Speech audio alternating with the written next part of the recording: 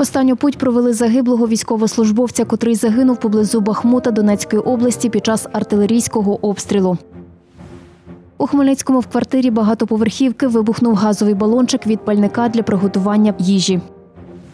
Дев'ять шкільних автобусів отримали сьогодні громади Хмельниччини, учні яких шкіл їздитимуть у школи у новому транспорті.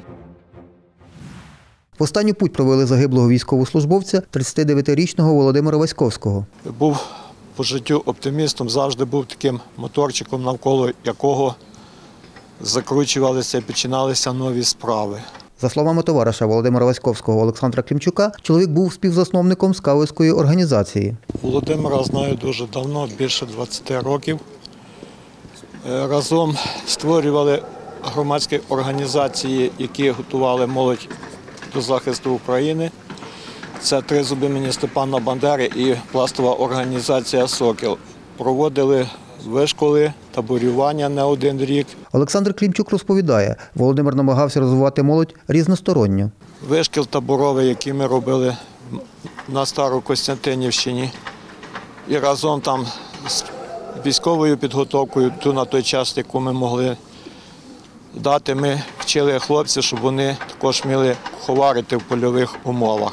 Для того, щоб хлопці розвивались не тільки фізично, а й розумово, Володя сказав, що ну, що могли, зварили, приготували, то були макарони. Ось, і він сказав, що коли кожен підходить, отримує порцію макаронів і зразу складає реп про макаронів. За словами побратима Михайла Цимбалюка, Володимир Васьковський один з перших резервістів Хмельницької територіальної оборони. Ми е, одні з перших резервістів, які підписали контракти і служили за контрактом в бригаді. Е, Готувалися стрілецькі дні, е, підготовка до змагань. Ми брали участь в регіональному чемпіонаті стрілецьких зводів, е, посіли там третє місце з восьми бригад. від самих витоків в цій бригаді. Е, Спочатку значить, він був в АТО, потім він, е, вже коли повернувся до цивільного життя, він служив в нашій бригаді як резервіст. І вже фактично зустрів війну вже як військовослужбовець в нашій бригаді. Е, Він поміняв кілька підрозділів, Останнє місце служби загиблого був полк Азов, говорить начальник прес-служби Хмельницької окремої бригади територіальної оборони Олександр Севастіанов. Він е, перевівся в Азов. Він сказав так, що потрібно щось робити, хочу щось робити. Е, Мені, ну, він був не по- такий трошки активний, непосидючий. Він взагалі в такій в громадському житті він він час брав участь. Пресофіцер каже, Володимир Васьковський загинув під Бахмутом. В бою вже е, нас там на сході України під Бахмутом, е, будучи в, в Азові, він і загинув. На жаль, Е, це був бій, е, був артилерійський обстріл. От, і він в бою просто отримав поранення несумісне життям. За словами Олександра Севастіанова, тіло Володимира Васьковського кремують, після чого поховають на Алеї Слави у Хмельницькому. Михайло Жила, Віктор Кривий, Суспільне новини, Хмельницький. 23 січня в результаті обстрілу у Донецькій області загинув житель селища міського типу Віньківці Володимир Шкринда, хлопець 2003 року народження. Цю інформацію підтвердили у Віньковецькій селищній раді. Про час, місце зустрічі та поховання загиблого героя буде повідомлено додатково, зазначають у селищній раді. Станом на 25 січня від початку повномасштабного вторгнення Росії у бою з українськими захисниками загинули 123 тисячі 80 російських військових. Противник втратив 3161 танк та 6307 бойових броньованих машин. Збройні сили України знищили 2154 артилерійських систем, 450 реактивних систем залпового вогню та 220 засобів протиповітряної оборони. Від 24 лютого українськими військовими знищено 290 літаків, 1902 безпілотних літальних апарата та 281 гелікоптер, автомобільної техніки та автоцистерн 4967 одиниць, спеціальної техніки 194. За 336 днів повномасштабного вторгнення Росії на територію України ворог втратив 18 кораблів та катерів, збито 749 крилатих ракет. Вибух через використання газового балончика, що призначався для пальника, стався в одній із багатоповерхівок в Хмельницькому. Про це розповів начальник відділу запобігання надзвичайним ситуаціям Дмитро Урунов. В одній із квартир в місті Хмельницькому по вулиці Північній стався вибух. На місце події було направлено черговий караул 3-ї державно-пожежно-рятувальної частини. Прибувши на місце, було встановлено, що в багатоповерховому будинку на четвертому поверсі стався вибух туристичного газового балону, який використовувався приготування їжі. Внаслідок вибуху е, пошкоджено два вікна, потерпілих та загиблих на місці немає.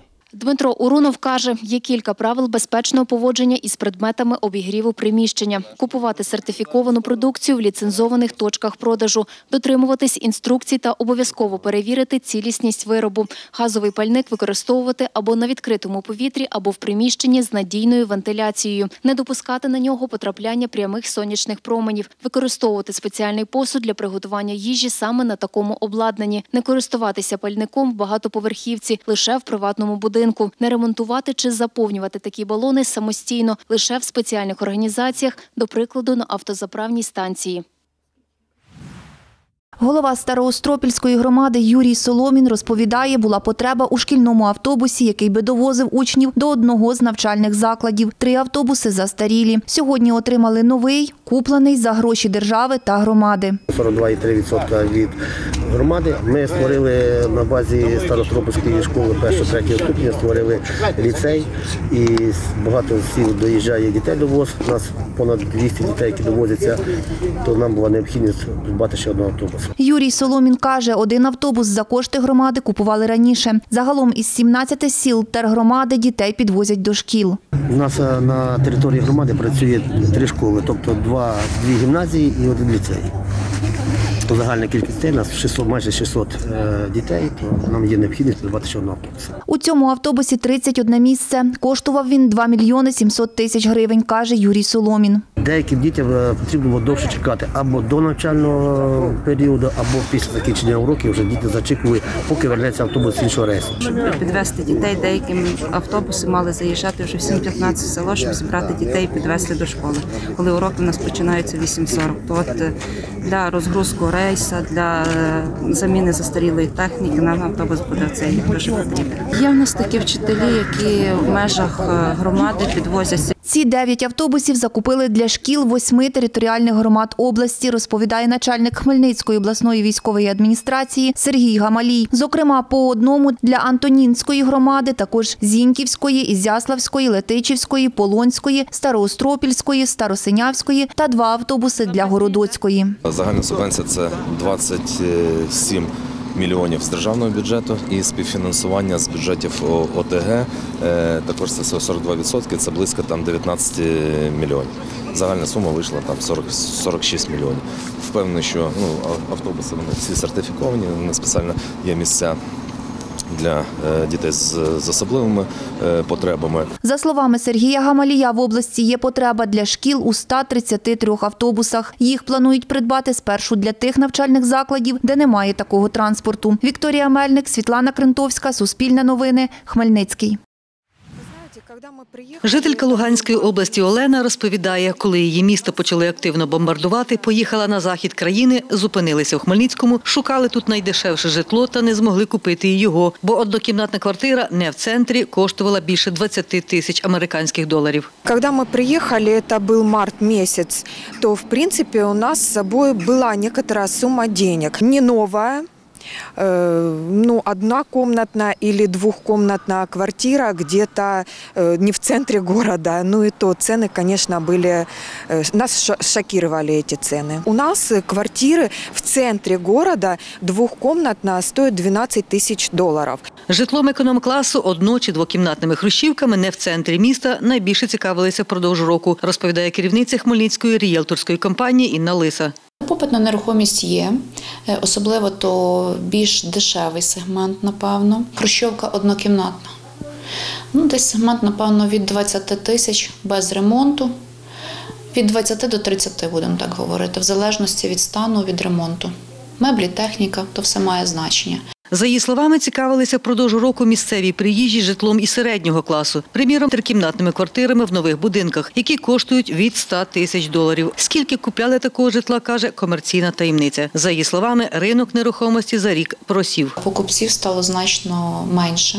Люди цікавляться, але купують менше. Вони розмірковують так. Вони чекають, поки закінчиться вся ця ситуація, військовий стан. За її словами, новобудовами цікавилися все ж менше. Люди хочуть заїхати і жити. Ті будинки, які вони здані, е, то там квартири продаються.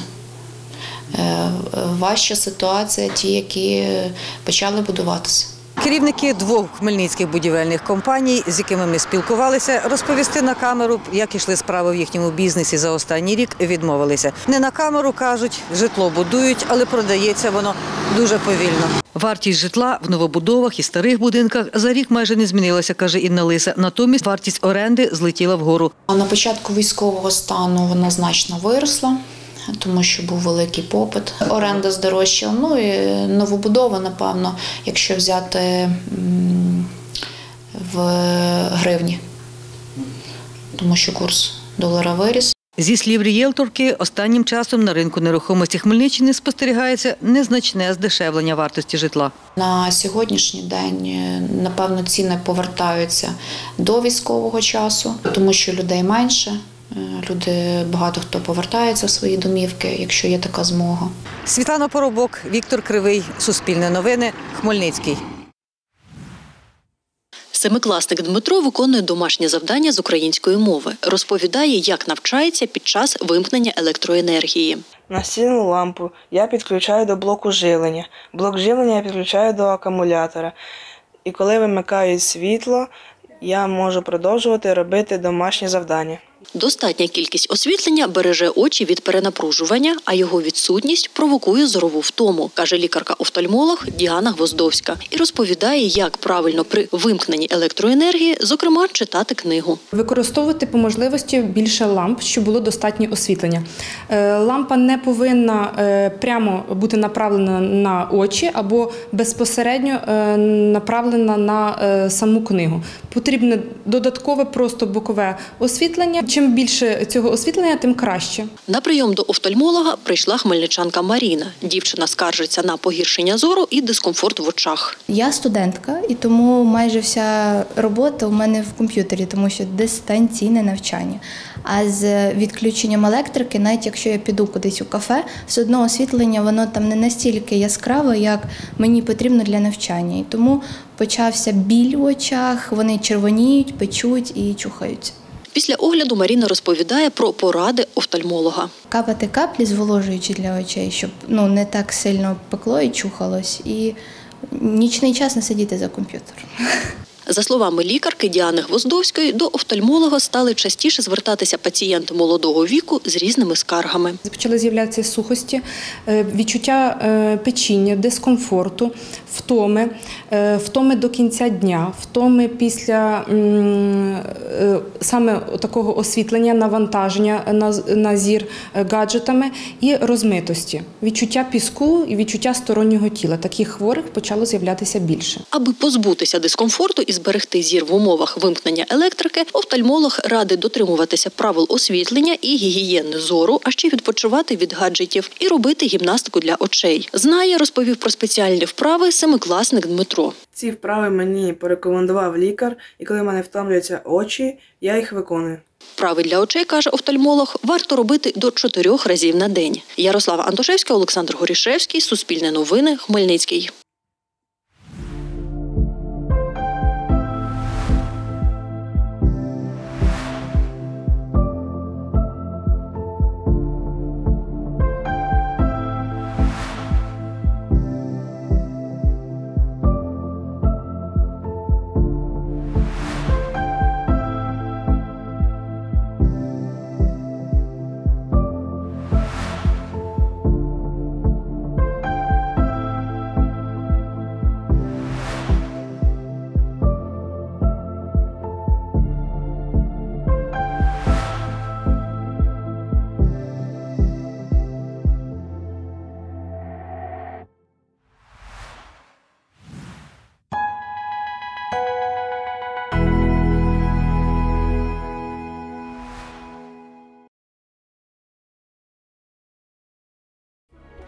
Час дізнатися найважливіші спортивні новини від команди Суспільне спорт.